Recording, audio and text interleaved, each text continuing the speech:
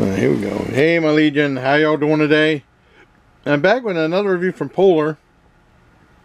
And I have not done a review from Polar since check my video manager November 17th, 2018. Wow. And they, uh, I've done eight, eight reviews. They usually make pretty good stuff. I, uh, I found this at Walmart. Usually I get the Polar stuff at uh, Chris, Christmas Tree Shops. I've been Christmas Tree Shops forever.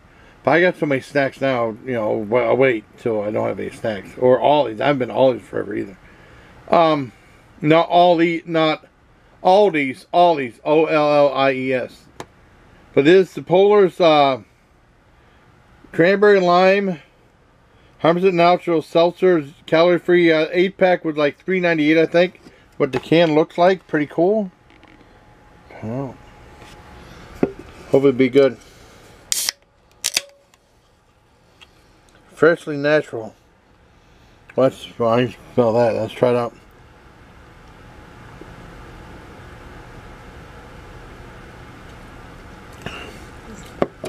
Wow. Definitely has a strong taste cranberry lime with that seltzer that some of the harshness of seltzer water. It's good though. It definitely like probably calm down your stomach or something like that. Let me try another sip.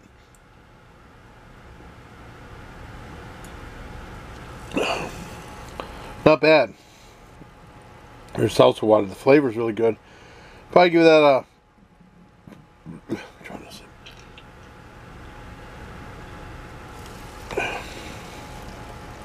Probably give that 8 out of 10. There I have for Polar Cranberry Lime Seltzer Water. Hope you like the review, everybody. Till next time, please. Take care, my lead.